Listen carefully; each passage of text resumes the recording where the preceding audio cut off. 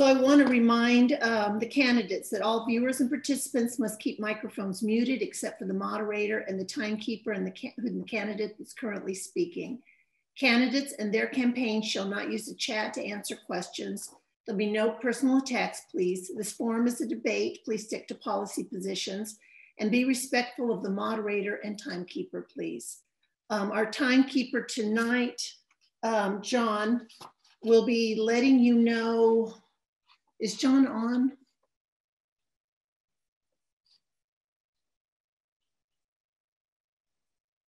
Um, he'll be letting you know um, by sound when your one minute is up. So you have one minute to answer each question.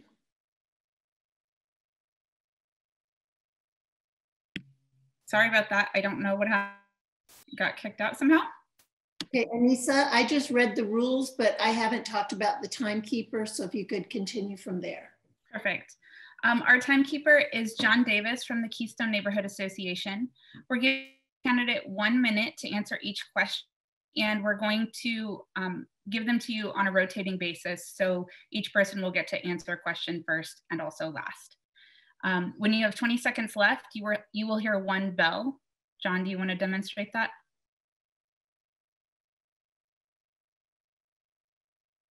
Maybe.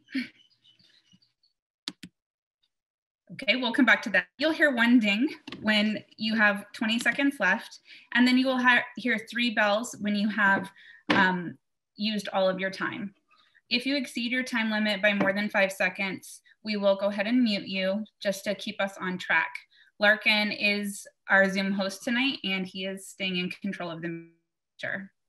Um, we've prepared six questions tonight, and at the end of the six questions, Jordan Gawi from the Beacon Hill Neighborhood Association will select three questions um, from the community to answer that may have been submitted through chat during the forum. So I'd like to get started with a short intro from each of the candidates. If um, I may, let me demonstrate the bell. Uh, this will be the, the 20 second warning. And this will be the ending warning following which we will mute you if you continue to speak. Perfect. Thank you. Thank you. Um, I wanted to let everyone know uh, we had previously confirmed all six, but uh, Cindy Dominguez did let us know she was not able to attend tonight due, uh, due to an unforeseen um, situation. Uh, she did send her apologies. Um, so I would like to allow the candidates to introduce themselves. We're going to go in alphabetical order. Um, please limit it to about two minutes and we'll start with Mario. Hello, everybody. My name is Mario Bravo. Thank you very much for having me here this evening. Um, I appreciate the opportunity to hear from you about directly about your issues. Um, I moved to San Antonio in the third grade and grew up here. I've been a community advocate and energy professional and I'm running right now because I believe that our current leadership has shut out the voices that we need the most um, to, to be able to um, solve the problems that we have and address our greatest challenges. Um, I think we've neglected opportunities to hold CPS Energy accountable. And I think that strong communities depend on leaders who listen and collaborate. Colla listen and collaborate with you, but also collaborate with their colleagues at City Hall in order to get to six votes, in order to pass policy, and in, in order to implement policy as well. So I'm really interested in bringing everybody to the table, uh, lifting up all voices, building consensus. I think that makes us stronger together. And uh, I really look forward to being able to work with you on uh, all of the issues that are most important to the community. I feel like um, anytime I sit at the table with, with several other members of the community, you know, my ideas are, are never going to emerge as the best ideas. My ideas are just here um, until a better idea comes along. And when I sit down and I listen to you, I know that, you know, you through your experiences, you've seen a, lo a lot about what's going on exactly in your neighborhood and you know what best works in your neighborhood. So thank you, everybody. And uh, I look forward to our discussion. Thank you. Um, was Mr. Bustamante able to join?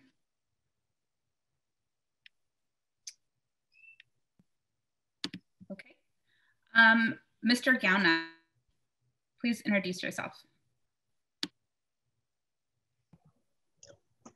Hello, uh, my name is Matthew J. Gauna. I am a former student of UTSA uh, running for District 1. Uh, I hope to accomplish in our upcoming term uh, a lot of environmental reform within city departments, uh, increase and expansion of public transportation uh, in years to come, and affordable housing uh, for uh, future residents and more, uh, perhaps more importantly, our current residents who feel they're getting uh, priced out of their homes with property taxes and, and, and the such.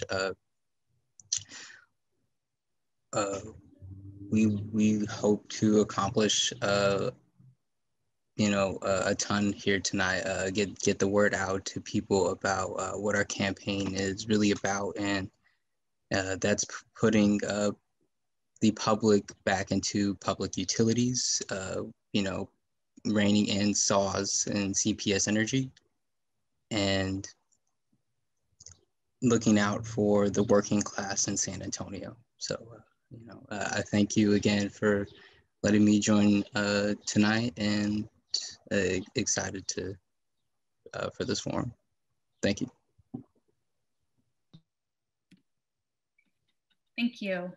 Um, next, let's hear from our current councilman, Roberto Trevino. Uh, thank you, Anissa. Thank you, Tier 1 Neighborhood Coalition. Uh, I am Roberto Trevino, your city councilman for District 1. I've been in this role for six and a half years. I look forward to uh, serving a fourth term as your city councilman. Uh, as you know, we've worked alongside you the whole way. We've fought for neighborhoods, for, for people.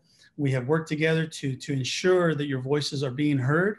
Uh, we work together on many different plans to make sure that the neighborhood plans uh, are, are, the kinds of things that that are upheld in our city that are that are valued. Uh, and we know that uh, sometimes uh, city staff needs to be held accountable. And uh, we are there to speak for you. We've written 35 CCRs that's 140 times or 140 signatures that council members have signed off on policy that we have proposed. We're super proud of everything that we've done.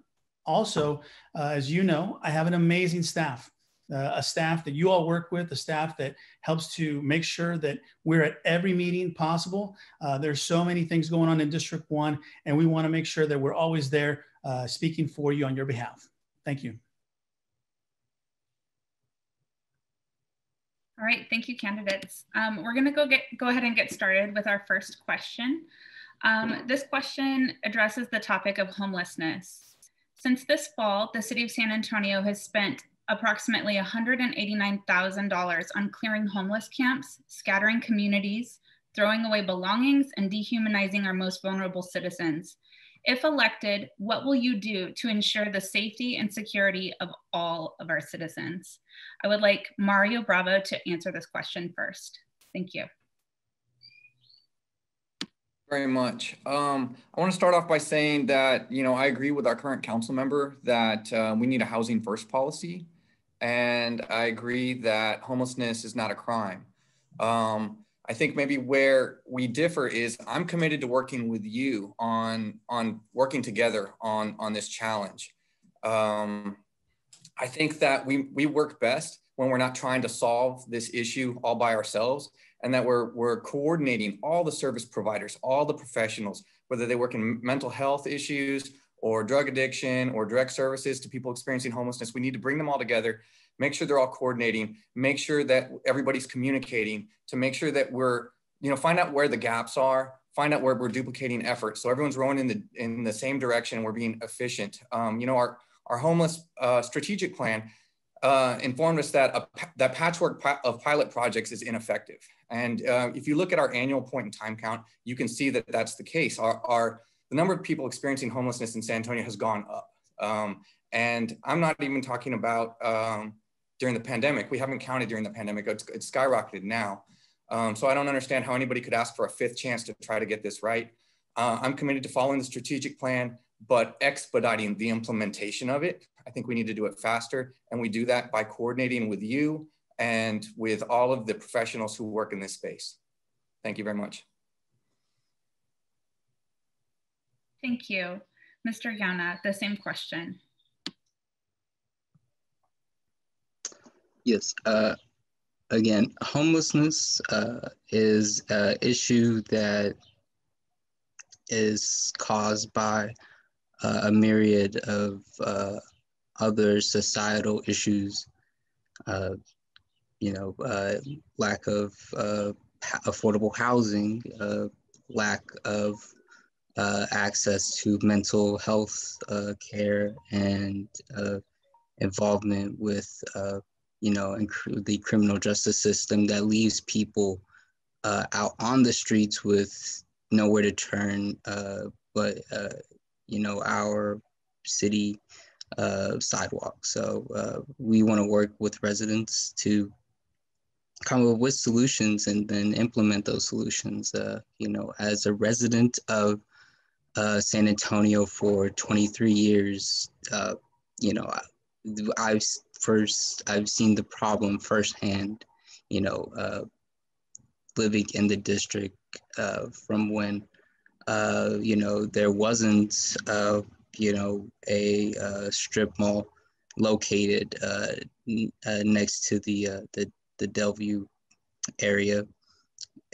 you know, there was still, there was still uh, issue with the homeless, you know, problem. And again, that's, uh, not on any uh, city council member for uh, you know causing, but there is uh, there is uh, the accountability that needs to be taken into account uh, when a, a, issue such as this hasn't been solved with accessible uh, housing, you know, aff- affordability and uh, uh, really you know, bringing the uh, bringing in the urban sprawl of San Antonio and bringing resources back into uh, District One.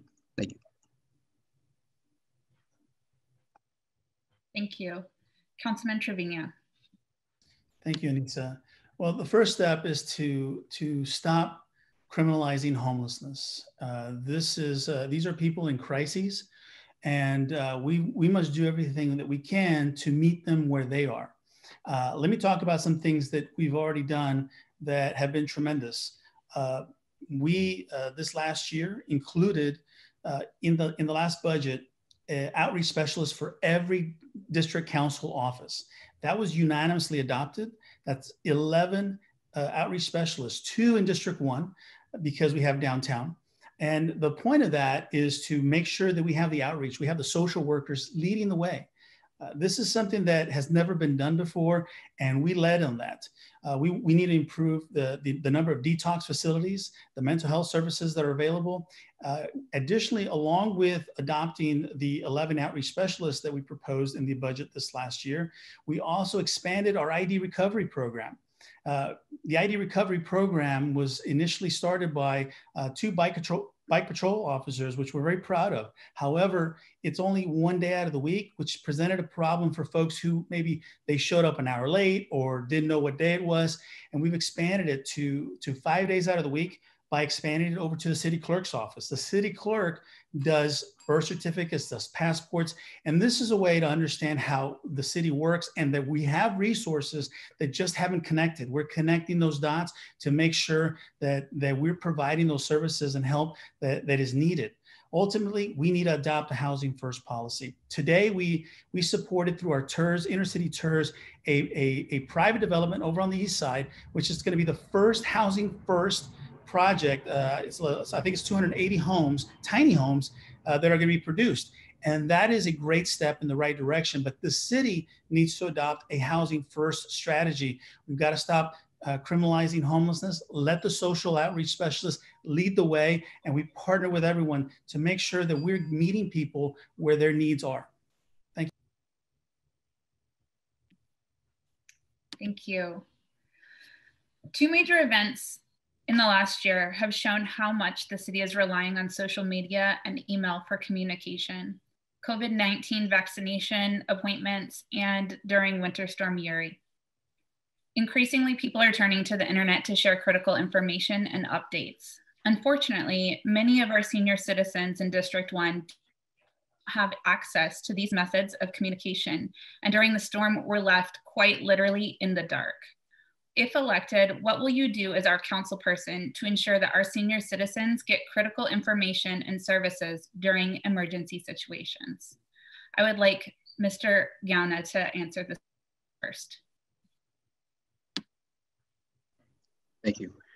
Uh, to ensure that our uh, elderly population has the information during uh, emergencies, uh, again, uh, when we provide, when the city provides information online, uh, when you, I've talked to, uh, you know, residents in uh, our community who say they, you know, don't know how to use a, com a computer. So, you know, or have, you know, incredible difficulty with using technology. So, uh, you know, was there a way to, you know, physically provide information when uh, electricity was out, uh, landlines were out. Uh, you know, uh, maybe perhaps through uh, our city's uh, emergency phone system, you know, we could send out alerts that you know our residents receive on their phones with information for the to who to contact and the nearest warming center and, and such. but you know, those steps were not taken, uh, you know, and, you know, perhaps, uh, you know, we need a city council person who will work proactively to ensure that when uh, disasters do strike San Antonio, whether they be natural disasters, uh, man-made disasters, uh, or such, uh, that we have the capacity uh, to reach all of uh, San Antonians, uh, you know, not just our, uh, you know, our, our, most vulnerable, but, you know, other, other people. I, I, I never received uh, any warning either. So, you know, it would have been reassuring to have gotten information during that emergency. So we, we would look to, you know, phone, phone capabilities and such. Thank you. Thank you. Next, Councilman Trevino. Thank you again, Anissa. Um, again, this is very similar to what we just talked about is we need to meet people where their needs are at. And uh, we know that senior re resources can range from transportation to wellness support, food, housing assistance, healthcare, transportation. And uh, during this storm, it only proved that that it was very, very problematic for all of us. Communication throughout the pandemic has been heavily focused on utilizing social media and digital communication to relay any updates and resources. But not all seniors are on social media or have email addresses. Not all seniors will know how to enroll in services online through web applications.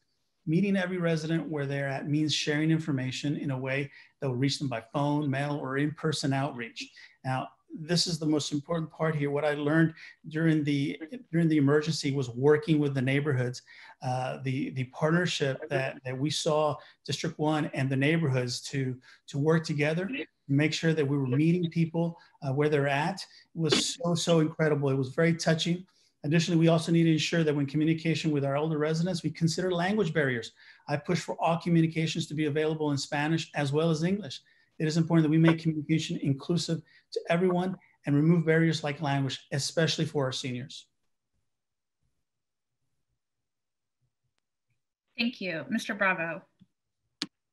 Thank you. So I actually, I have, uh, my parents are senior citizens. And um, so during the pandemic, one of my top priorities has been making sure that I'm protecting my parents, making sure that I'm assisting them uh, in these challenging processes of getting vaccinated, um, same thing, you know, during the storm when we went without electricity, you know, my number one priority was making sure that my parents were okay. Um, and so I, I, can appreciate this. Um, and, you know, there, there's, there's two aspects is what do we do during an emergency situation? What protocols do we have in place? Clearly, we don't have good enough protocols in place for how do we do outreach beyond just digital outreach. Um, and the second is what about day to day with seniors? Uh, what see the needs of seniors, right?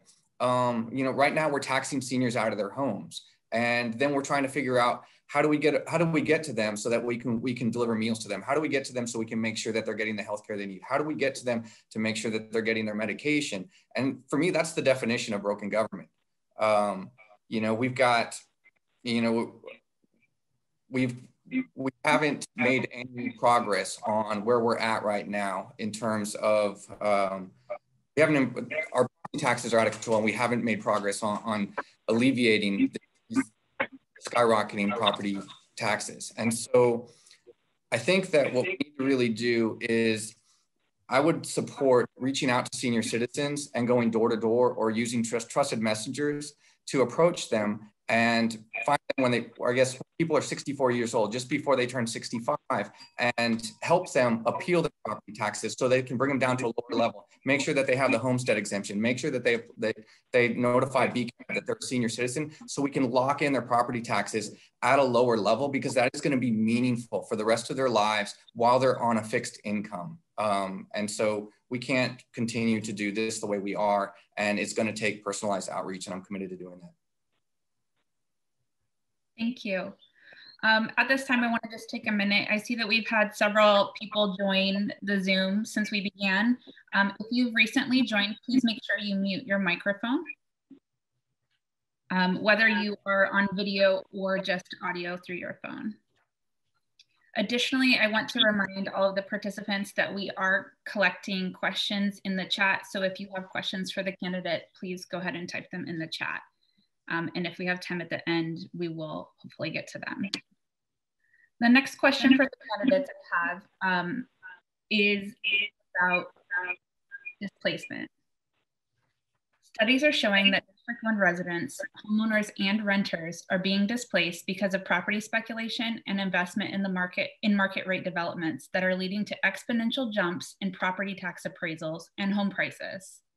How will you help prevent displacement of homeowners and renters in our neighborhoods if you are elected to be our council person? Um, I believe it is Councilman Trevino's turn to begin.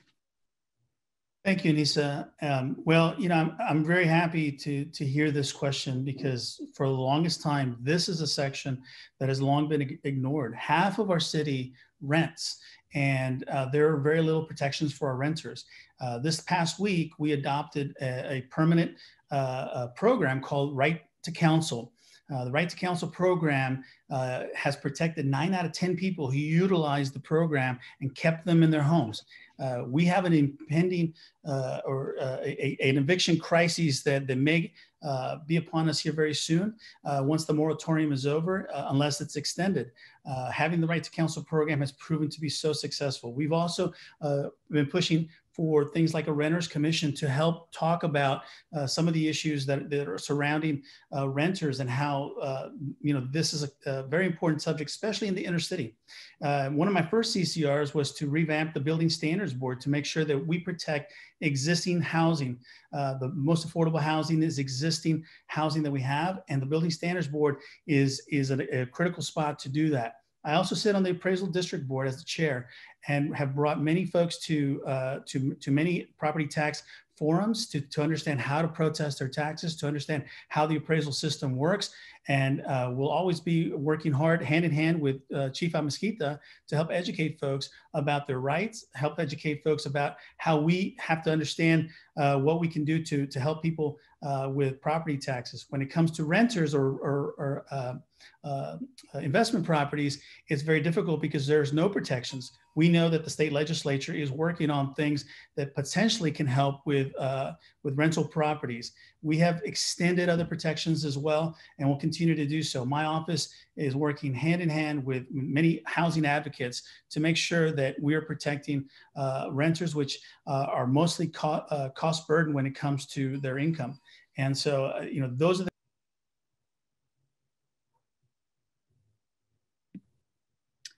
Um, it looks like that was the end of your time. I did not hear the bells, John.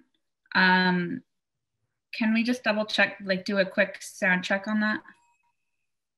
They were super. Yeah, that's super, super quiet. Is there any way to? Okay. That's better. Thank you. Hey, and Anissa, I was just informed informed that the 210-777-7755 number is council candidate Laurel Bustamante. So he has joined. He had some technical issues with uh, joining the Zoom via, via video. Okay, great. Um, thank you for joining, Mr. Bustamante. Uh, did you hear our last question?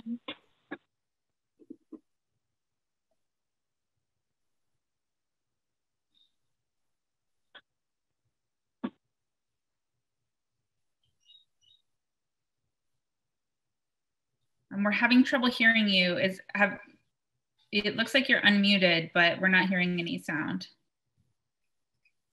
Can you hear me now? Yes. Hello. Can you hear me? Yes, we can hear you. Okay. Um, Mr. Bustamante, did you hear the last question we asked the candidates? No, I, have been having some technical problems here. Okay. Um, what I'll go ahead and do is repeat this question um, since only one person has answered it so far, and I will add you to the bottom of the rotation.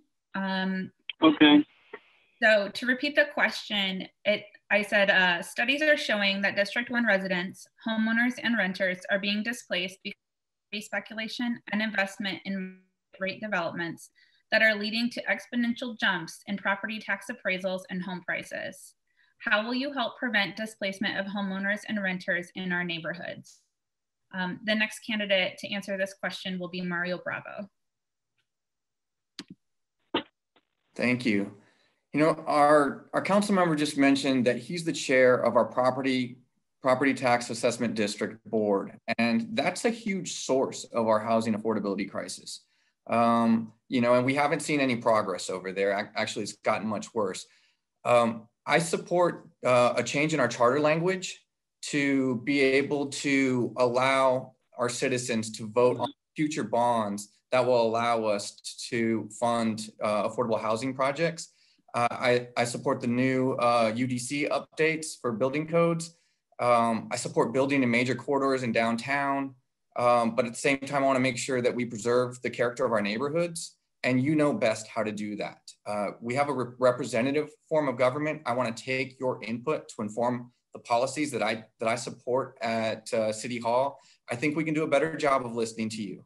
Um, you know, filing CCRs is has become unfortunately fairly ineffective, um, especially if you can't get to six votes. And um, I want to be a collaborator, listening to you, working with our colleagues at City Hall to see how we can improve this situation for everybody. And, uh, you know, you're an important partner and I really look forward to working with you. Thank you. Um, Mr. Gauna.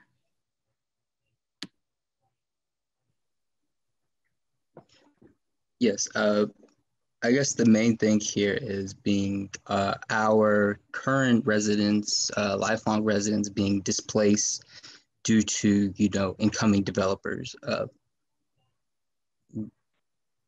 we've seen an increase of demolitions uh, under uh, our current city council.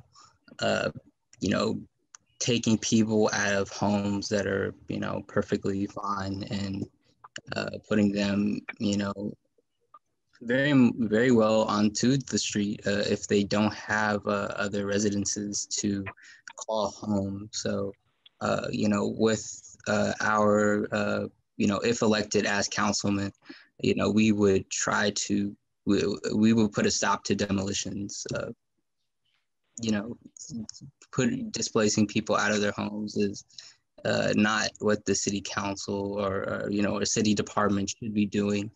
Uh, uh, with the uh, higher taxes. Uh, with, with higher taxes, we're not seeing any uh, increase in public uh, infrastructure investment uh, you know, if, if we are to pay these higher taxes, we should be getting something in return. And we're frankly not seeing that. We've seen the committee approve, you know, these demolitions, you know, on the west side and, you know, in our more near our downtown area.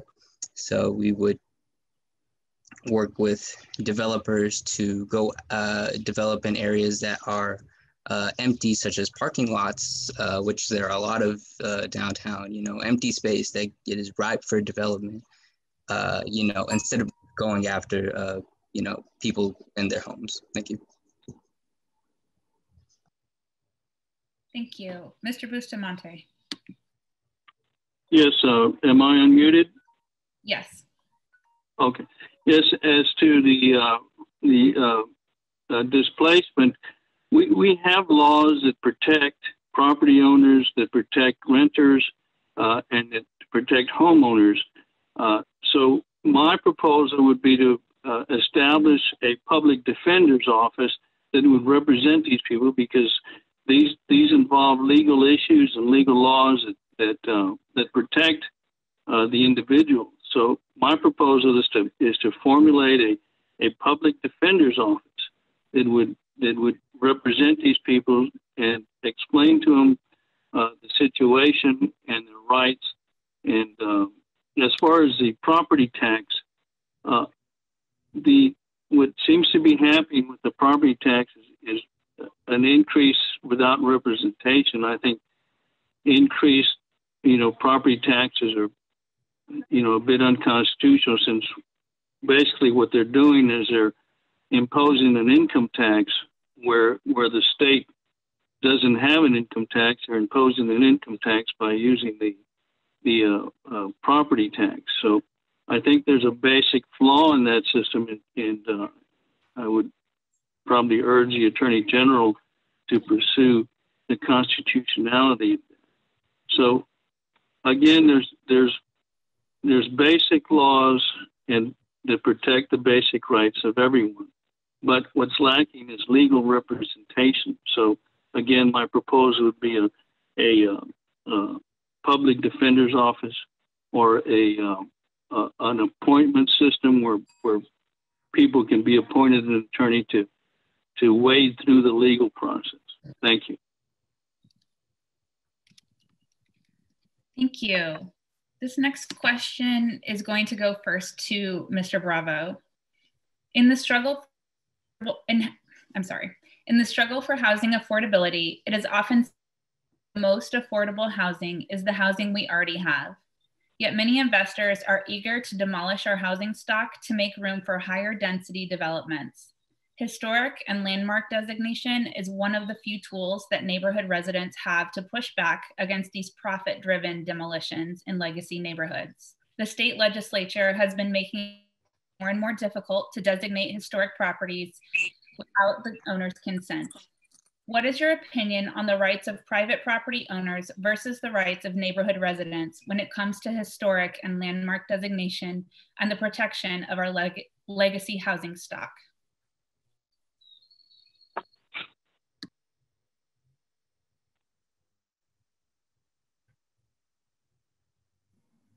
Sorry. Um, well, we need to make sure that anybody who's purchasing a property knows well, what they're purchasing and knows the rules around that, you know, and recognizes that the community has already agreed on how you can develop in that neighborhood and what you can tear down, what you can't. Um, you know, not all neighborhoods are created equal. I want to make decisions with you at the table um, and tailor the approach to your needs. I think that um, you know, we need to protect the rules that we have. And part of that is going to be uh, when we, um, every, every two years, when the state legislature meets, uh, we look at, you know, what are our legislative priorities? We take your tax dollars and we hire lobbyists and we send them to, to the state legislature and uh, we have them protect the, the, laws that are important to us. And uh, we have them um, support legislation that would be beneficial to us that our community supports. And we need, we need to do a better job of listening to you when we develop our legislative agenda. Uh, right now, it seems like um, there are just a select few who get to sit, sit together, get together and develop that legislative agenda and take it to City Hall. And I think we need a better public participation process in doing that and making sure that we have that we are supporting state laws that protect the things that we cherish most um, at your neighborhood level. Thank you. Mr. Yes. Uh, you know, like I said, uh, we've seen an increase in demolitions, uh, you know, uh, by the the city, you know, uh, you know, not necessarily developers, but we do see developers come in and buy these empty lots and then get a group of empty lots, you know, slap some townhouses, uh, you know, in the middle of a neighborhood. And aesthetically, that's just not pleasing, uh, you know, so we should be working, you know, with the city towards, you know, a, a design that we, you know, flows from one community to the next so that there's not, you know, an abrupt change in, you know, design or aesthetic. Uh, again, uh, with, uh, with developers, uh, you, you, you might hear from them, they have no choice but to build residential, you know, uh, in these residential areas because of, you know, zoning laws. So we would, if elected councilmen, we would work to uh, change the zoning laws uh, in our city so we can have mixed use development, you know, underground parking uh, as a priority, you know, to in- increase the walkability of areas and you know the affordability and accessibility. Uh, you know, as of now, you know our current uh, you know plan for the city, you know, doesn't address uh, those uh, uh, in the community with disabilities, those who are elderly, those uh, who, you know, have young children. So, uh, you know, you know these are the things that need to be addressed when you know uh, talking to developers about their property rights versus you know uh, you know people uh, neighborhoods property uh, people in the neighborhoods property rights uh, you know because again this is working to build a, a community and uh, you know so we we, we would like to keep you know affordable housing and, and such thank you Thank you. Next, let's hear from Mr. Bustamante. Yes, uh, there's basic human rights. Uh, you know, people have a right to uh, to be safe in their neighborhoods. They have a right to be healthy in their neighbors, neighborhoods, and, and, they have a right to be happy and, and live, live serenely in their neighborhoods. So the, these basic rights are, should be protected by the city, and the city does this by by codes they, they do it by uh, zoning, uh, participation in the zoning or rezoning. Again, the, the, we, we have we have some basic rights. We have the laws that protect people, you know, shelter and that protect their their uh, uh, their their happiness in their home and, and, their health in their home. So that's that, and health especially because some of these some of these buildings are, you know, just they they look like you know fire hazards and like matchboxes. So I think you know we need to have ordinances to have buildings uh, become fireproof. Another problem is energy, and these buildings should become solar solar energy efficient.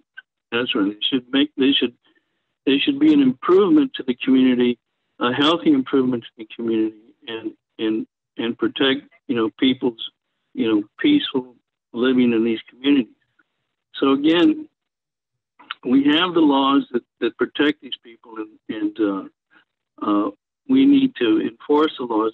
One of the things that, that comes up a lot is eminent domain, uh, the right of you know municipalities to to make way uh, for projects under under the the cloak of eminent domain. So again, these are legal issues, and, and again, there's there's laws to protect the property owners and, and uh, protect the uh, the homeowners. So uh, again, the city has a, a, massive legal department, and that massive legal department should be expanded public defense system to represent both sides. You know, represent the, the, the builders and represent the homeowners uh, in a in a in a system like like mediation or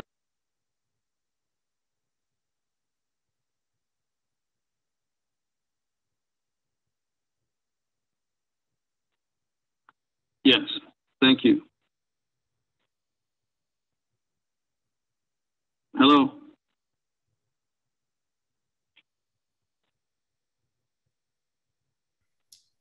It looks like uh, Anissa may have some additional technical difficulties here. Cynthia, do you have the next question? I do. Thank you. May I answer that question too, though? Uh, apologies, Councilman. With the loss of the moderator, I lost where we were. Uh, so the same question posed to you, Councilman Trevino. Thank you, Jordan. Um, well, you know, we all remember Miguel Calzada and, and the process of that. Uh, we are currently working on a demolition moratorium. We filed also a CCR adopted in 2017 to increase the burden of proof needed to demolish a home. From 2019 to 2021, there were about 20 demolitions per year. This is a dramatic decrease from prior years, but we know that we can have even fewer demolitions with programs like Under One Roof that has done over a thousand roofs to date. In many cases, historic designation benefits a community, encourages better design, historic, historically designated properties appreciate, increases neighborhood pride and awareness. It can revitalize a neighborhood, protect owners and residents from incompatible development, helps curb urban sprawl, reusing of existing resources. Another policy that I propose called deconstruction by promoting infill development as well. A historic district that is aesthetically cohesive and well promoted can be a community attraction and generate econ economic activity. At the same time, there are folks who often have reservations with becoming a historic neighborhood. Usually folks are concerned that every, everything from the color of their house uh, to the interior will need approval, or they are concerned that they will need to make uh, costly restorations or hire design professionals in order to uh, be in compliance. These concerns are often go away when the policy is explained. That's why it's important that all residents are aware and are involved in any historic designation decision. We also have NCDs that we've worked hard to make sure that you know people are aware of, work uh, alongside many uh, uh, districts or uh, neighborhoods to to help them uh, complete uh, NCDs where wherever they would like. Thank you. Thank you, sir. Our next question has to do with incompatible infill. As housing pressure increases in San Antonio, there are few District 1 neighborhoods that do not have examples of incompatible infill development, whether it be tall condos next to modest bungalows or towering garage apartments. It seems that the UDC has been left open, has, has been left to open generous interpretation and that generally prefers the highest profit over the letter or intent of the code. What will you do to address issues of incompatible infill development and ensure the preservation of our legacy neighborhoods? Uh, Mario Bravo, would you like to go first, please? Thanks. Uh, we've all seen where somebody comes in and they take a piece of property and uh, they subdivide it and you know build where there was in an area where there was single family homes they they built six units and then the land value increases 12 fold um, and you know we have to be very careful how we're affecting our neighborhoods. Um, you know, and uh, I will not move forward with zoning decisions without your input every step of the way.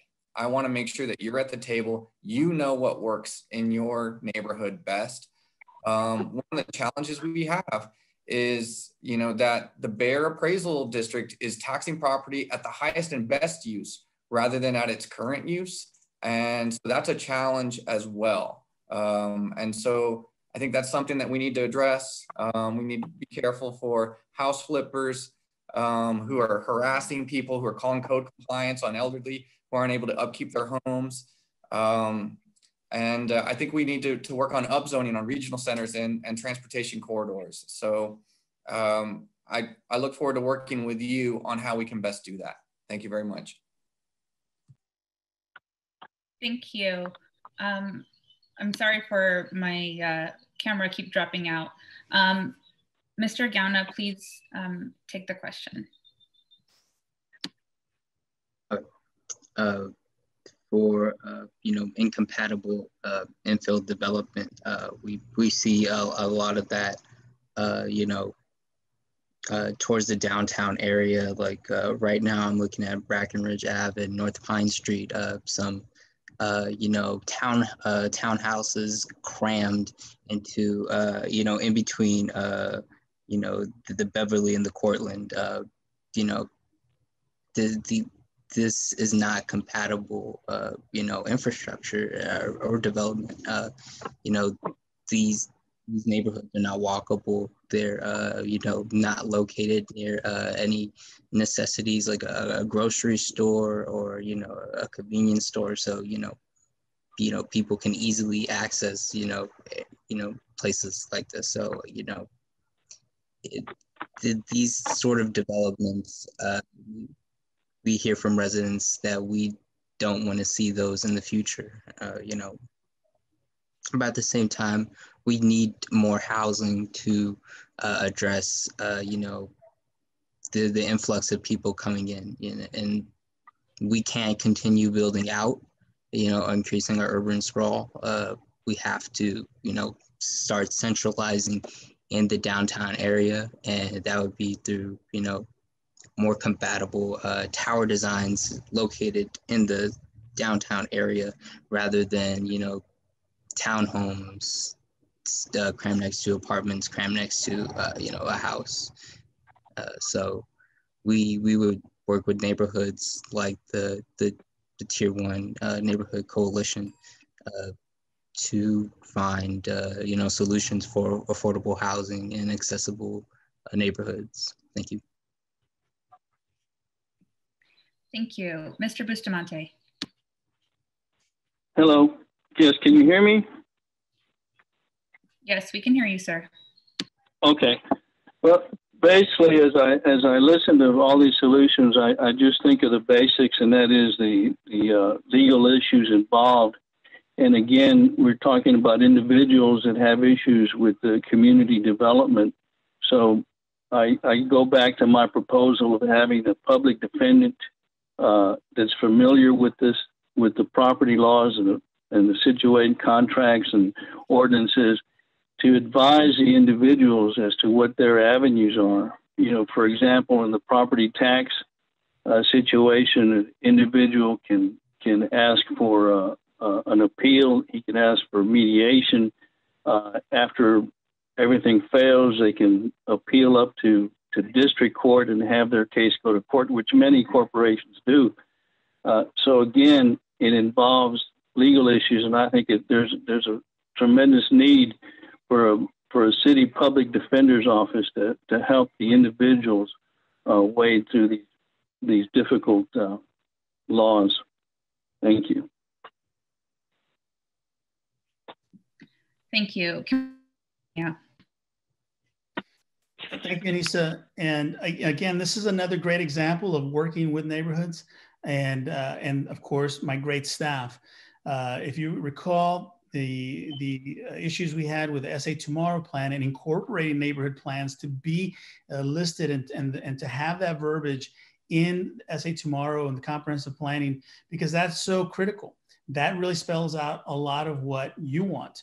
Uh, so we were very, very much uh, a part of that. We joined you in that, supported you, uh, made sure that that language got put in in in that. Uh, additionally, I want to say uh, we always have uh, strong, strong folks representing District One for zoning, from our zoning commissioners to to my zoning representative on in my in my field office. additionally, I want to say uh, we just completed this week, we voted on the large area rezoning for Monte Vista. want to thank uh, all the residents uh, that helped make that happen.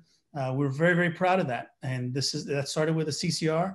Uh, again, a success story that is going to be expanding throughout the district. And I can tell you, uh, my council colleagues are all looking at that because that is an important aspect of what we're talking about. A lot of this development goes to uh, the incompatibility of what's designated of the land. It's not necessarily what is what is there now. You might have a single family residence that is designated with an MF33, which then puts pressure on that property because there are speculators that will come in and they look for that that uh, uh, zoning designation to do those kinds of things to to, uh, to build it out at, at, its maximum capacity. We know that's incompatible, and we're working to fix that. And it's really one of the proudest things we've done together with neighborhoods. Thank you. Thank you. All right, um, this is the last of our um, pre-prepared questions and it's going to go first Mr. Gauna. Tier one was formed as citizens struggled with the city to include neighborhood voices and perspectives in the SA 2020 Comprehensive Plan. These and other development and policy issues directly affect us. In 2019, City Council approved the public participation principles as a policy, but this is often disregarded or forgotten and is not an ordinance. If elected, what would you do to ensure that community is represented on issues surrounding development, transportation, housing, environment, and other important policy issues?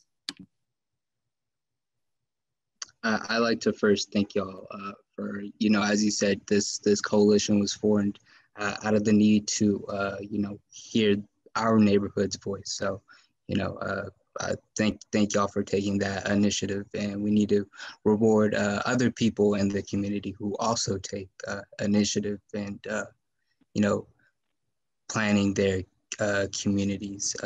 you know, with the SA 2020 plan, we saw a disregard for you know individual community uh, you know, you, you named the marginalized group, uh, th those people were ignored, uh, you know, over, you know, uh, our municipal utilities uh, voice like CPS, you know, uh, business, you know, vo their voice was, you know, listened to the most, you know, in, in situations. So, you know, we often see community uh, you know, input disregarded, uh, you know, when planning uh, such issues.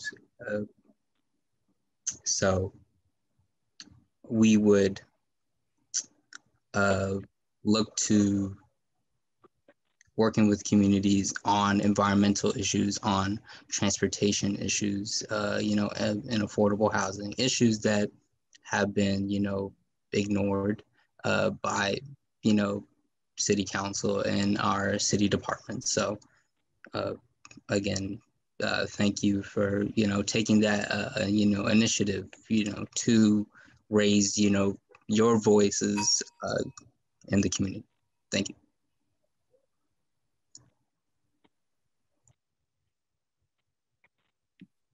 Thank you. Um, Monte. Hello? Yes, we can hear you, sir.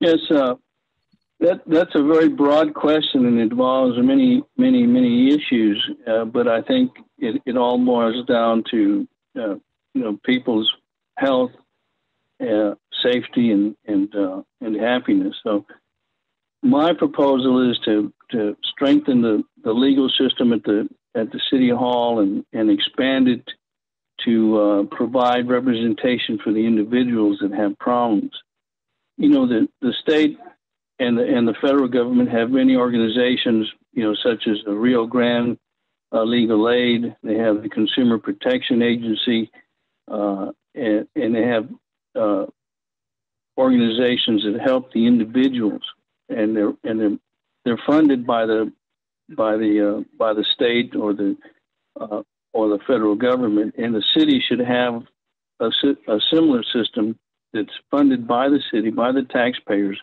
to represent the individuals in the individual cases. Uh, we need a system like that in the, in the municipal court system, public defender in the municipal court system, and also in, in, in all these issues that that, uh, that were brought up in this broad question. So, with uh, with my legal experience, I intend to have a uh, an administration that offers free legal help and representation to, to those in need in my community. Thank you.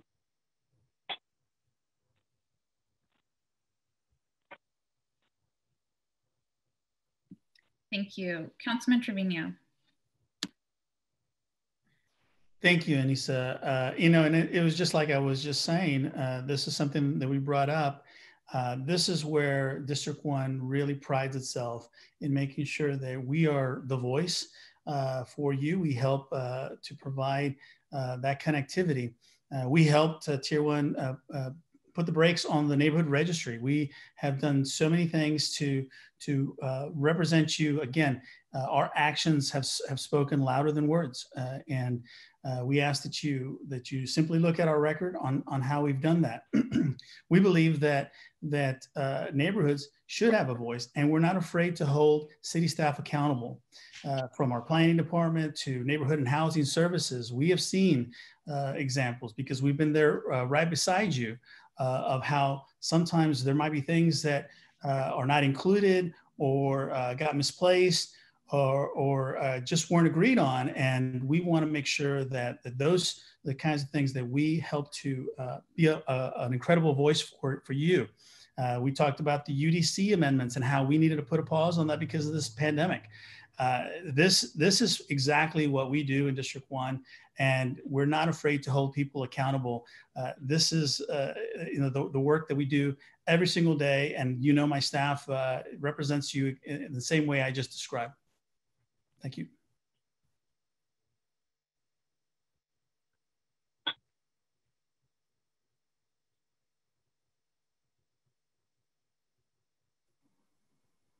Is Anissa frozen? Should I go?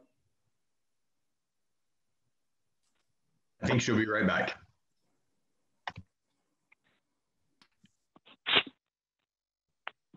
I'm back on. Oh, good. I'm sorry. Um, I believe it's Mr. Bravo's turn.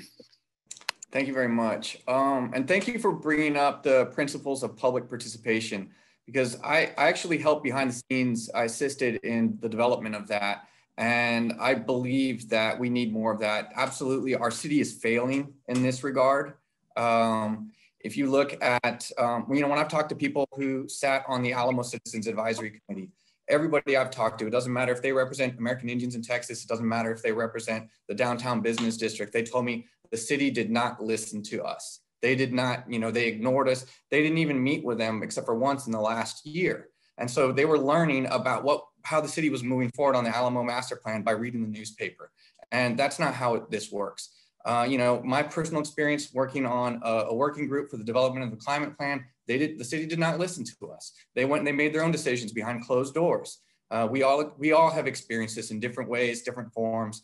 I used to serve. I mean, my record serves um, speaks for itself. I served as a chair of a stakeholder group, meeting with senior staff at CPS Energy, and they refused to be accountable. They refused to be transparent. Um, you know, I pushed for they their board meetings were held at one o'clock on a Monday and they weren't video streamed. So there's no way you could watch them. I got them, I led efforts to get them to change that. They didn't allow public comment at their board meetings. I led efforts to get them to change that. Uh, their citizens advisory committee was meeting in secret. They didn't publish meeting minutes. They didn't publish meeting agendas. I led efforts to get them to change that. Still, CPS Energy is not accountable to us and we need to, to work on that more. We finally got this rate advisory committee, and I will continue to be a champion on these efforts because I completely disagree with Councilman Trevino. I couldn't disagree more. We have failed on this, the city has failed us on this issue, and the citizens deserve a voice um, in their own government. And we, you know, we need to make, we need, we need to do so much more on meaningful public engagement.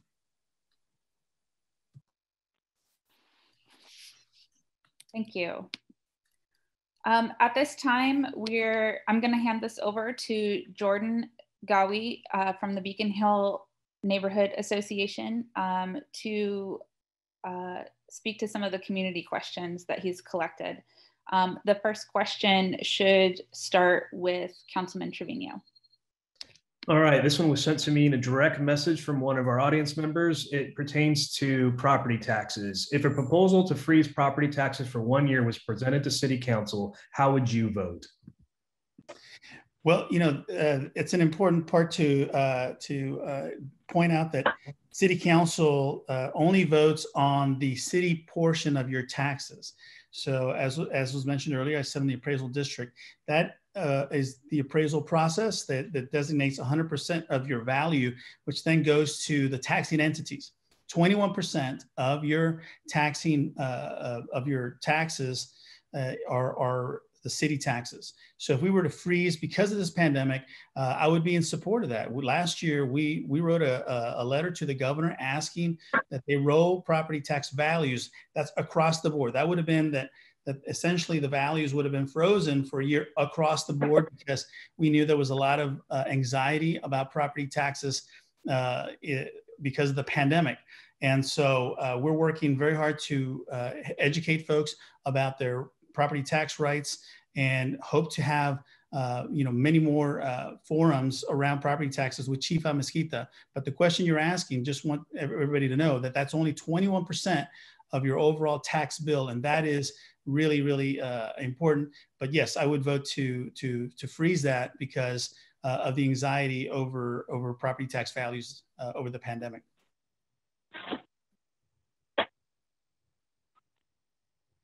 Thank you, Councilman Anissa. Who was after uh, the councilman? Mr. Bravo. Can you repeat the question, please? Sure. The question was, if a proposal to freeze property taxes for one year was presented to city council, how would you vote? So I think that's just one tool that we could possibly have. And we need to look at all the tools that we can have to, because the, whole deal is we need property tax relief right? We heard Councilman Trevino explain how they work, but we haven't explained how he's made them better as chair of BCAD.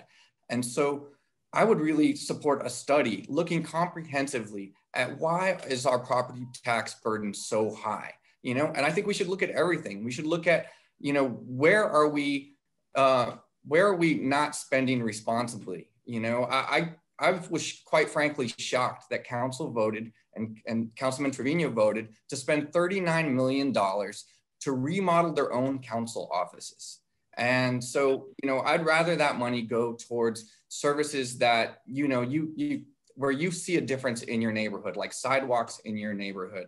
Um, and, you know, we look at uh, the Frost Tank, Frost Bank Tower that the city bought and we're remodeling it. And I think uh, cost overruns are $47 million now.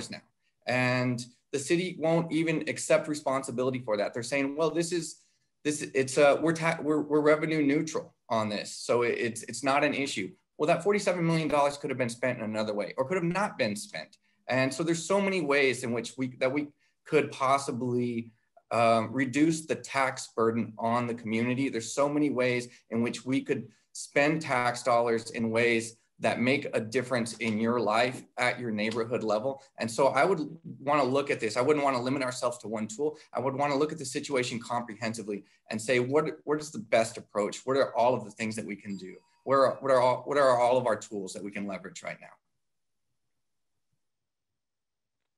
Thank you. Next is Mr. Gauna. Thank you. Uh, short answer, yes. Uh, long answer, uh, we should have done this uh, since the beginning. Uh, this, uh, you know, property tax freeze would have helped a lot of people had it happened sooner. Um, you know, and, you know, perhaps going forward, we identify individuals, you know, who are having abnormally high property tax increases and you know analyze why that is happening and you know uh, get get those individuals uh, you know the uh, uh, tax freeze that they uh, would need to you know uh, in, increase their uh, economic uh, outcome and quality of life uh, so again why, why uh, haven't any of these solutions taken place? Uh, you know, or uh, you know, not just from the the current uh, council member, but other members of council and the mayor as well. Uh, you know, we should all be questioning why uh, you know these things are are taking longer than in other major cities, you know, so something to, you know, compare to, I guess. Oh, thank you. Thank you. Uh, Mr. Bustamante. Yes, the uh, the property tax situation is, is should be on an individual basis. Each case should be looked at individually, see what effect it's, it's had. Uh, just increasing property taxes to, on everyone is just a violation of due process, and it's a violation of their constitutional rights and a violation of their property rights. But because they don't have the representation, they end up losing their homes for foreclosure, property tax foreclosures, you know, especially on the south side, many people have lost their homes because they, they just can't afford to pay the taxes. Businesses go under because they can't afford to pay the taxes. This is this is a, a, a taxation without representation, a violation of due process. Again, we have we have the system to, to take care of these problems on an individual basis, but we don't have the people don't have the tools or the access to the tools. You know, we have uh, the, the Consumer Protection Agency that that uh, helps consumers. We've got uh, Rio Grande Legal Aid that helps uh, in many situations, but we, we don't have a tax court. We don't have uh, pro bono uh, tax help. We don't have uh, pro bono representation. We don't have Uh, you know free representation for these needy people. And I think I think each case really should be looked at on an individual basis, and nobody should be forced to, to out of their home because it's been sold for taxes. So I, that, that that that's a big problem, and it's going to become a bigger problem. That, that taxes not only should be frozen, they should be reduced across the board. I think there's there's there's a lot of waste that's been mentioned, and uh, and there's many solutions that we can that we can provide to the community to to lessen their economic burden. Thank you. Thank you. Um, Jordan has the next question, and the first person to answer will be Mr. Bustamante. All right. We had polled our neighborhoods that are members of the Tier 1 NC and asked them to submit questions as well. And here's one submitted by one of the residents. In 2017 and 2018, the top 30% of SAWS residential users underpaid by about $2.3 million per month, a subsidy paid for by the other 70% of users. The lowest 10% of water using residential households made the largest contribution to that subsidy. If elected, what solutions will, you, will your office provide to ensure a more equitable system of billing based on actual water usage?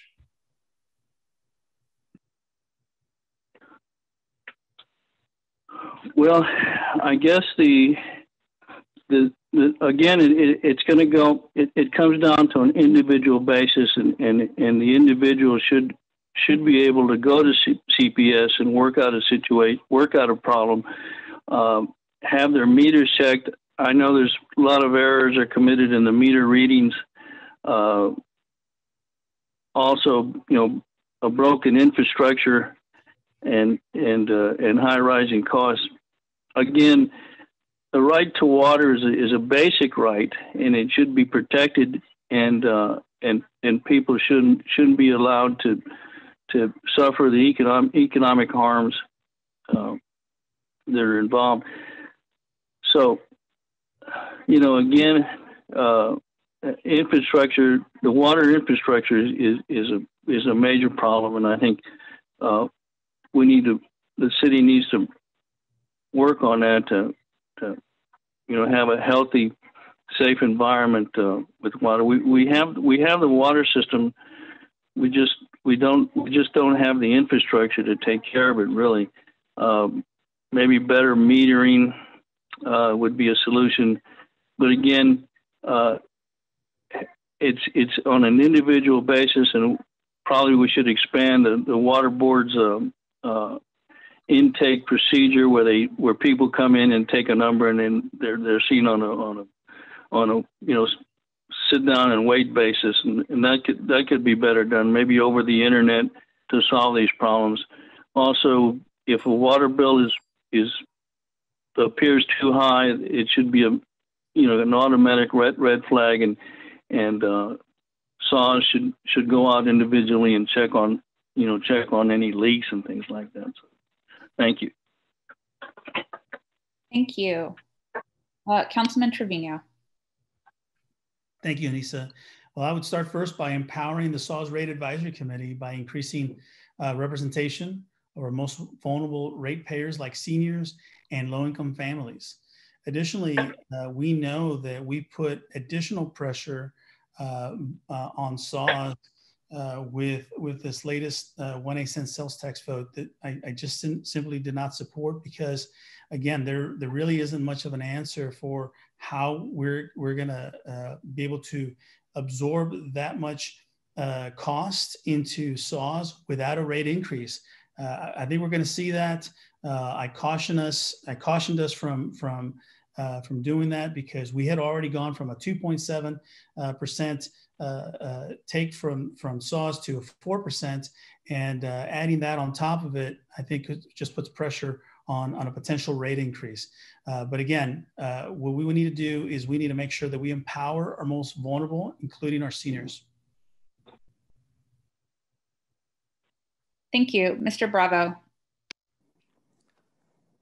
So the first thing that we have to understand is that, um, well, okay, first of all, the for the person who wrote this question, they're absolutely right. Our, our, our water rates are inequitable and that needs to be addressed. Now, we have just procured the most expensive water source in the nation with Vista Ridge, right? And with with that have come multiple opportunities or multiple um, rate increases with SAWS. And at each, every time we voted for a rate increase, there was an opportunity to adjust the rate structure. And Councilman Trevino has has had multiple opportunities to to to address this rate structure and to the rate advisory committees has never taken those opportunities. I sat in and saw rate advisory committee meetings, which the, the, the outcome was already predetermined. And so people would want to look at equity issues um, on the rates and SAWS staff would say, well, you know, you don't get to look at that. You know, there's just, here's this 10% of the rate structure that you get to look at and that's it. And so what was the point? People were frustrated that they were on a rate advisory committee in which they couldn't provide input on the issues that were most important to them. And so we have failed miserably on that. I will be a champion, not just myself, because I have to recognize that I'm only one vote when I'm on council.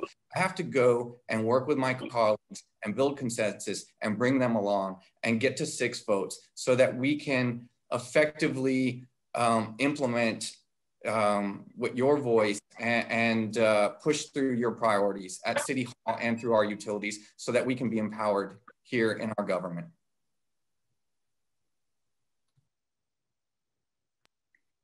Great, thank you. Um, Mr. Gauna. Yes. Uh, oh, I'm sorry, before you get started, um, I just want to remind Mr. Bustamante, could you please mute your microphone um, when you're not speaking? It, it keeps cutting into the other candidates. Thank you. Please go ahead, Mr. Gauna.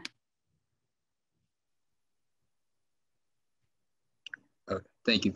Uh, you know, I believe the question is about, uh, you know, pricing, um, uh, you know, equitable pricing on water. Uh, so, you know, you know, our biggest water users uh, in the summer uh, are places such as like UTSA, USAA, uh, you know, big uh, mansion style homes and the such. Uh, you know, I encourage everybody here to, you know, uh, go online and uh, research who is using the most water in San Antonio because uh, you know once once you see that you know these people are using you know hundreds of times more water than you know the average citizen are paying you know you know below average rates if not subsidized rates.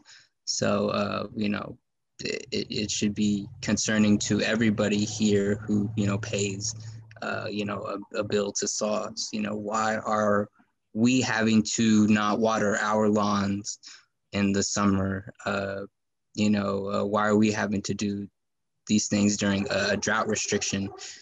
Yeah, you know, when the highest water users are not, are not, you know, average citizens. You know, they're corporations or university or you know, wealthy individuals. So, uh, you know, we, if elected, we would bring, you know, a, try to rein in the, the SAWS, uh, you know, unequal, unfair pricing. You know, uh, Mr. Bravo brought up the Vista Ridge pipeline. You know that uh, you know, is not equitable when we have, uh, when we were pumping our clean Edwards aquifer water out to areas to be sold, uh, we're seeing none of the profits from SAWS, but yet we're getting this subpar quality drinking water from Vista Ridge pumped into our homes, uh, you know, from near Dallas. So, you know, uh, it's just something to think about. Thank you. Thank you. Um, we have time for one last question, and uh, Mr. Gauna, you will be the first to answer it. Jordan, go ahead. Mr. Gauna, what does the future of transportation look like in San Antonio? You know, uh, if elected, I believe that the future of San Antonio uh, transportation, uh, you know, includes a subway system, heavy rail or medium rail, uh, you know, transportation uh, that could be done through a SkyTrain or like I said, you know, a subway. We we cannot continue this, you know, love affair with highways. You know, sooner or later, you know, space is going to run out. So we need to look to, you know, tunneling uh, technologies have drastically improved in the past decade. So we can look to uh, you know, working with VIA, you know, on this. Uh, you know, uh, city council served up a, a subpar uh, streetcar system. Uh, you know, we a streetcar system is fine for smaller cities, but uh, you know, a, a, large city like San Antonio with a population of you know two million and growing, uh, we we need to you know help people move quicker uh, and that would uh, that would mean placing where they work uh, near where they live. So we would try to cut down on transportation times by introducing affordable housing and you know uh, you know uh, a light rail uh, sorry excuse me a heavy rail uh, high speed transit system. Uh, you know, when you are stuck in traffic, you know, on, a, you know, 5 p.m. on 410 and I-10 or, uh, you know, I-10 near downtown and I-1035 over range, you know, just something to think about. You know, why, why don't we have high-speed rail? Thank you. Thank you. Mr. Bustamante.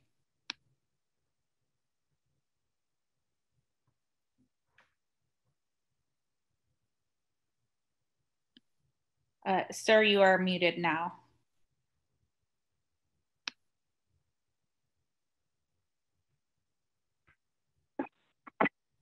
Hello? We yes. can hear. Yes, I think the future of transportation lies in electric vehicles and um, and autonomous vehicles. I think electric vehicles are uh, are good for the environment. They're uh, good for the health of the community. Uh, they're energy energy savers and, and uh, autonomous vehicles um, are becoming very sophisticated now, and uh, uh, they they can uh, they can address a lot of our transportation problems. Many cities are already using electric buses. Uh, there's also many cities experimenting with autonomous vehicles. Uh, I think that's that's the future. We're also seeing a lot of cities using or starting to use um, air taxis, uh, uh, high speed, you know, high speed rail, uh, tunneling. Uh, those are those are uh, the solutions. Those are the transportation solutions for the future. Tesla's building a, a, mega factory in Austin. It, in order to increase the use of electric vehicles, we need to provide incentives, uh, tax write offs or tax breaks, uh, incentives for individuals to, to uh, purchase uh, electric vehicles. Um, so I think I think that's that's the future of our transportation. I think the solutions are there, and and they're very cost effective.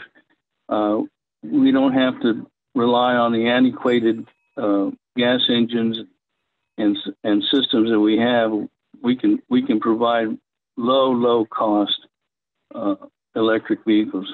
China has a vehicle for four thousand five hundred dollars electric car.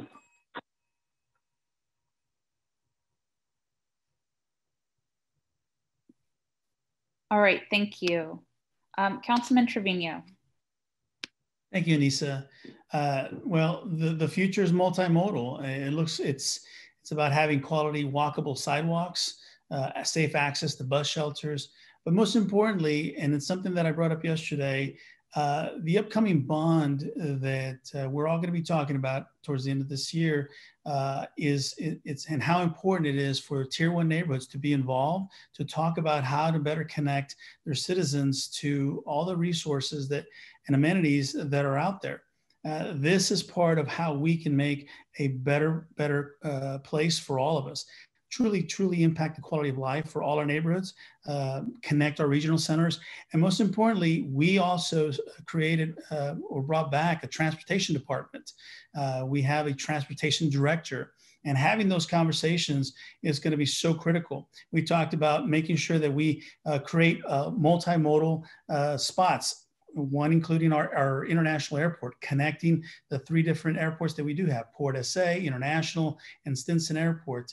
Uh, there's so many opportunities that, that uh, San Antonio has ahead of it, and it starts with this bond and including tier one neighborhoods.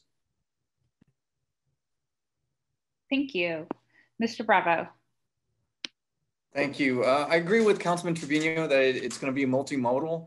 Um, but I also think it's going to include complete streets. And, and to me, complete streets means that you have uh, safe bike lanes. And safe, safe bike lanes, it does not mean you just paint a white line on the road. Um, but, uh, you know, this also reminds me, this conversation reminds me of Connect SA. And I think that's another example of where we didn't get public participation right. So I don't know if anybody else here tried to get involved with Connect SA, but trying to get on their advisory committee, that was like a black hole. And so at the end of the day, you know what is the, what does my transportation plan look like for the future of san antonio? It's not about my transportation plan. It's about the community's plan. It's about bringing everybody together because we are not going to have true effective public transportation without buy-in from the community without getting everybody on board and you know with, without just getting um, support from across the community. Uh, you know i think that um, we can have advanced rapid transit I think we can look at uh, increasing frequency on existing routes. Um, a lot of this has to do with uh, transportation justice um, and just making sure that, it, that everybody has access to be able to get to better jobs, to get to and educate uh, wherever they want to get an education, where to be able to get to um, places where they can buy healthy food. And uh, at the end of the day, I don't have all the best answers, the community does. And so that's how we're going to move forward. And Anissa, I captured a total of six other questions in here. Sorry, maybe seven that we will be posing to the candidates via email. These are the questions that we didn't have time to ask you all today. So we'll send them to your respective email addresses, capture your answers, and we'll make sure that we post that on our tier one uh, websites so that you guys can get those answers that you deserve. Thank you. Um, before we, or just as we wrap up, um, I would like to have uh, each of the candidates um, take one minute each to um, give any closing remarks that they would like to give. Um, and then we will turn it over to Cynthia Spielman. So um, uh, go ahead in the same order. Uh, Mr. Bravo, you may go first. Thank you so much. I really appreciate this opportunity um, to introduce myself to some of you all and to listen um, to the questions that you have that are most important to you. I have a track record of building coalitions. I have a track record of working with communities, um, of working on public policy. And, uh, you know, I have a track record of challenging property taxes as a hobby to learn more firsthand at how unfair and inconsistent the property tax system that we have is. And I want to work with you to resolve that. I won't count my successes by the number of CCRs I've filed. I won't count my successes by the number of pilot projects I've launched. I'm going to count my successes by the progress that, that you are able to see at your neighborhood level. I'm going to count my successes by the services delivered to you. And I'm going to count my successes um, when we can see that we're no longer taxing people out of their homes. So I look forward to working with neighborhoods I look forward to working with my fellow city council members to do what's needed to get to six votes so that I can implement your agenda. Uh, I invite you to get more involved, to learn more about me. Visit mariobravo.org. That's M A R I O B R A V O.org, and where you can sign up to volunteer, where you can make a contribution, where you can learn more about me, where you can find my email and write me directly. I would love to hear from you and meet with you and your community, hear, your, hear more of your ideas one on one. Thank you so much. Thank you. Mr. Bustamante, one minute, please.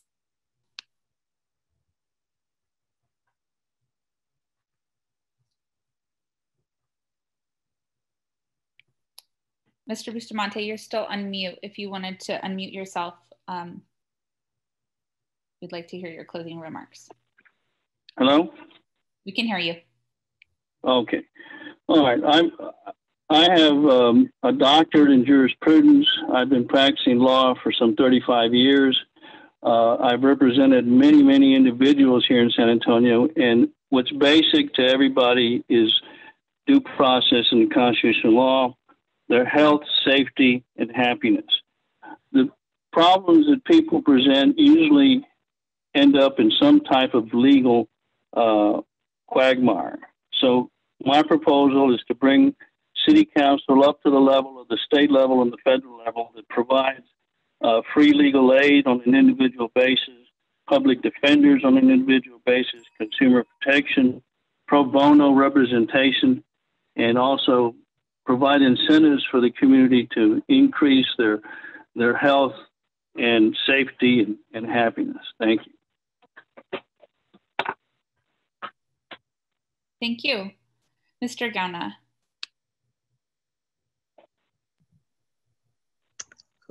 Thank you all for having me again. Uh, you know, uh, San Antonio needs to look to the future, and that uh, candidate is me, Matthew J. Gauna, for District 1, uh, a student of environmental science and biology.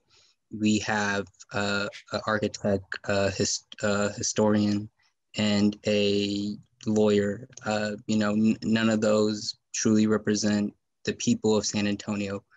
Uh, you know, born and raised in San Antonio for the past 23 years, went to UTSA, and I know the problems that San Antonio faces, and I know what it takes to take this city to a tier one city like the likes of New York, Tokyo, Vancouver, and such. Uh, I ask that the community reach out uh, to our website at olmoscreekpark.com, uh, olmoscreekpark.com. Uh, you know, it's our uh, volunteer service, and you can reach us through there. Thank you. Thank you. Uh, Councilman Trevino.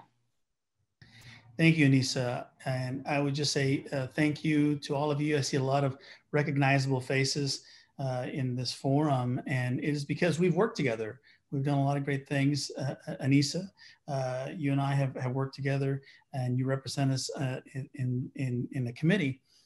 we have, I can see Cynthia, I can see Jordan Gowie, uh, lots of great folks from different neighborhoods that, that really have helped us to work together uh, to implement policy, policy that's enforceable and long term. Uh, like the large area rezoning that we just adopted, that's so, so important. Pilot programs like the right to counsel have prevented nine out of 10 families from evictions. Uh, we have saved uh, over a thousand homes. Those are families living in those homes. Our focus is on people, and I'm driven by that conviction. Thank you. Thank you so much. Um, at this time, I'm going going to turn it over to Cynthia Spielman of Beacon Hill. We want to thank the candidates for coming tonight. We want to thank the audience who's joined us. We'd also like to thank the planning team who helped put this on from representatives from the following associations, Beacon Hill, Tobin Hill Community, Olmos Park Terrace, Keystone Neighborhood, West End Hope and Action, Monte Vista Terrace, King William, Lavaca Neighborhood Association, and Monte Vista. This is the kind of cooperation that Tier 1 is all about. If your neighborhood would like to be included on our mailing list, please contact t1nc.sat at gmail.com. And just a reminder, you'll see it in the chat of our virtual um, workshop on Saturday, March 27th at 10. Um, thank you all. And I'd like to have the last word to go to Mrs. Betty Eckert from Olmos Park Terrace. About that, I get the last word. Yes, you do. all right, I'm ready. And so mine is all about voting. Please be sure that you not only vote, but you get the vote out in your neighborhood. Get your get your neighborhood voting. Thank you so much. Thank you for all being here tonight. We appreciate it. Good night, everybody. Thank you. Good night. Good night.